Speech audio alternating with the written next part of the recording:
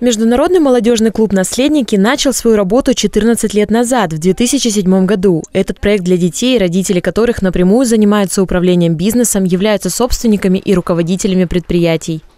Мы, как люди работающие, люди бизнеса, занимаемся благотворительностью, помогаем очень много а, семьям многодетных детей, малоимущим, людям, попавших в сложную жизненную ситуацию. Но мы задумались о том, а кто же поможет нашим детям?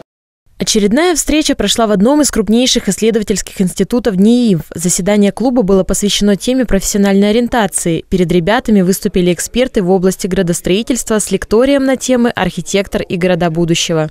Мы задумались о том, почему многие ребята хотят уехать э, за пределы Дальнего Востока. Почему они хотят уехать в центральную часть, за рубеж?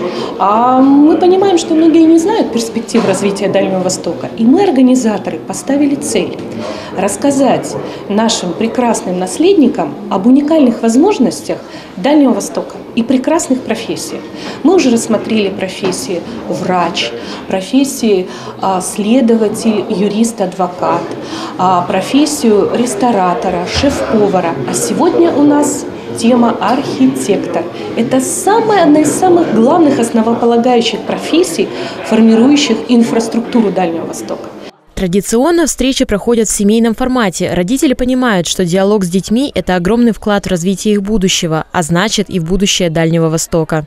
Мне очень важно, что те мысли, которые я, собственно говоря, дома в быту говорю, да, чтобы их сказали, а, другие люди, ну и еще плюс не просто другие, а еще являющиеся а, такими компетентами а, в, своей, в своем деле, в своей отрасли. Вот. И то, что мы проводим эти мероприятия, или там я участвую в этих мероприятиях, которые мои дети участвуют, а, вот мы приезжаем значит, к разным предпринимателям, к разным, мы сейчас в данном случае в институте находимся, да, фактически прикоснуться именно в том месте, где люди работают, где люди творят, вот это ничем не заменишь, никаким рассказом. Гости слушают с большим вниманием. Все увлечены, но настрой сохраняется серьезный. Они уверены, чем больше узнают сейчас, тем легче предстоит выбор в будущем. Ну, лично мое мнение, родители должны активно, даже не должны, а обязаны активно участвовать э, в развитии ребенка, потому что это будет проще в жизни. Передо мной открывается выбор профессий, то есть я начинаю больше узнавать о подводных камнях и так далее.